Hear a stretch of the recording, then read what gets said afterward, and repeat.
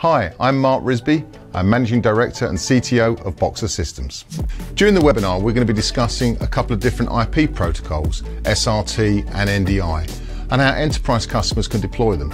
We're seeing a big change in the way people roll out video, how they want to be more flexible, and how they want to create different content to be used in different places, especially in post-COVID times as we move to more hybrid ways of working and having staff in different places. We've got two completely different yet similar protocols here, and we're going to talk about how standards-based um, protocols work versus open source versus manufacturer-led protocols and what the strengths and weaknesses are in the various use cases. You won't want to miss this webinar because IP is the future.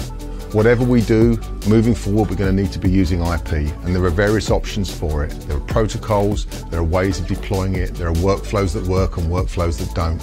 And this is a great opportunity to talk about some of those with some really interesting people.